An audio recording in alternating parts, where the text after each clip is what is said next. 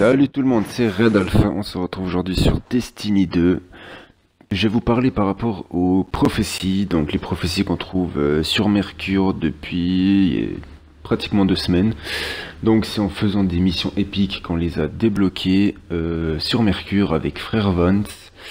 En tout, il y en a donc 12, comme vous avez pu le voir à la forge, où il y a 12 petites lumières qui s'affichent dès que vous avancez. Euh, après, le conseil que j'avais donné à pas mal de personnes, c'est de les faire quand ils vous demandent de les faire. Donc, il y en a certains qui vont être dégoûtés par rapport à ce que je vais vous montrer.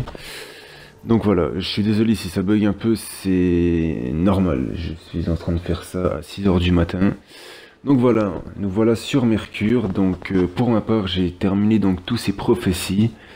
Euh, il y a juste la forge où ça bug et puis ça m'indique que le numéro 7 euh, il n'est pas encore allumé alors que c'était le dernier que j'ai fait. Donc voilà, comme vous pouvez le constater, vraiment la forge est, au complet à part cette, euh, bah, ce numéro 7. Hein. regardez pas trop mon perso, il m'a fallu du temps pour me positionner bien, pour faire un petit selfie avec la forge. Donc voilà, tout simplement les ressources qu'il fallait chercher, que ce soit dans des coffres, dans des événements publics, dans des assauts ou en PVP ou aussi en, euh, en mission épique. Donc voilà, comme vous pouvez le constater, j'en ai plus et dans mon inventaire, il n'y a plus rien. C'est vraiment dès que vous avez terminé les versets, ça vous les enlève. Donc voilà, euh, vous gagnez donc euh, cet emblème là que je vais vous montrer dans pas longtemps.